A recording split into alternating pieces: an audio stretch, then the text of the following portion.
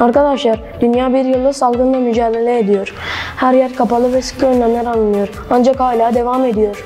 Haklısın. Maske, mesafe ve temizlik kurallarına tam anlamıyla uyulsa aslında azalır. Amerika'da yayınlanan bulaşıcı hastalıklar konusunda önemli bir tıp dergisi olan Klinik Mikrobiyoloji, Mart 2020 sayısında Osmanlı döneminin ünlü Türk hekimlerinden olan Sabuncuoğlu Şerifettin'in kapak resmi yapmıştı.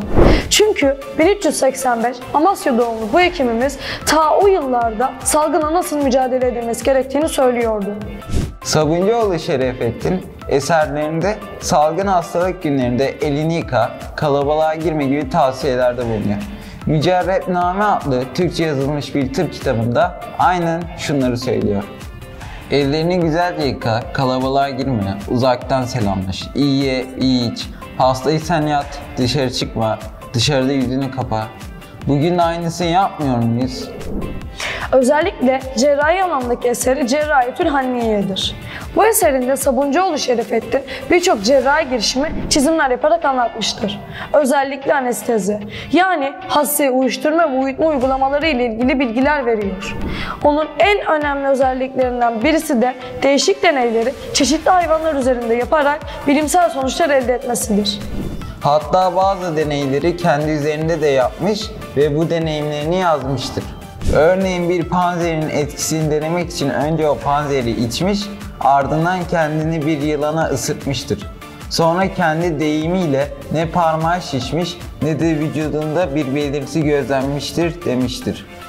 İkinci örnekte ise bir horoz üzerinde yaptığı deneyi anlatır. Güçlü zehri olan bir yılanın olduğundan bahseder. Yılanı inceleyen Şerefettin, zehrin çok kuvvetli olduğunu fark eder ve bu defa bir horoz getirir. Horozun budumu tüylerini yolarak yılanı üç kez ısıttırır. Bu defa tiryaktan yani panzehirden küçük parçalar hazırlayıp horoza yutturur ve merhem şeklinde hazırladığı bir kısmını da yılanın ısırdığı yere sürer. Horozu kümese geri koyar ve gözlem altında tutar. Ve gözlemleri sonucu bakar ki horoz iyileşmiştir. Böylece tiryakın başarısını bir kez daha kanıtlamış olur. Burada kullandığı tiryakın tiryakı Faruk olduğunu belirtir. Arkadaşlar, Türk tıbbının babalarından biri olarak gösterilen Sabuncuoğlu, farmakolojiden anatomiye, anatomiden nörolojiye kadar birçok alana dair çalışmalar yaptı.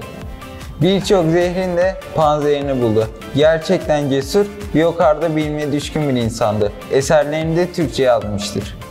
Türkçe yazma nedenini de şöyle açıklar. Bu dönemin cerrahlarının çoğu Türkçe kitap okumaktadırlar. Böylece bu kitabı Türkçe yazmakla bundan daha fazla kişi faydalanabilecektir.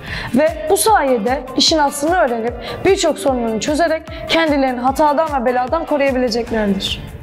Eserinde verdiği ameliyatla ilgili alet ve resimler okuyan için ayrıca görerek eğitim sağlıyordu. Mücerrepname ise daha önce yazılmış eserlerden derlenen ve kendi bulduğu formüllerle genişletilmiş bir eserdir.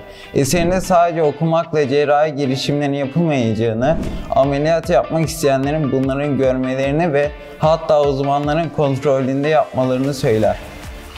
Ünlü eseri Cerrahiyetül Haniye ise 11. yüzyılda yaşamış olan Endülüs'te hekim Zehravi'nin At Tasrif adlı Arapça ansiklopedik eserinin cerrahiyeye ayrılan son bölümün esas olarak hazırlanmıştır.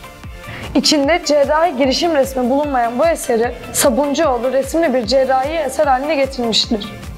Bu eserin bir diğer özelliği de sistematik bir metotla kaleme alınmış olmasıdır arkadaşlar. Bugün ilaçların etkileri, kullanım alanlarına göre yapılan sınıflandırmayı ona borçluyuz. Sabuncuoğlu gibi bir hekimimizin olması gerçekten gurur verici arkadaşlar.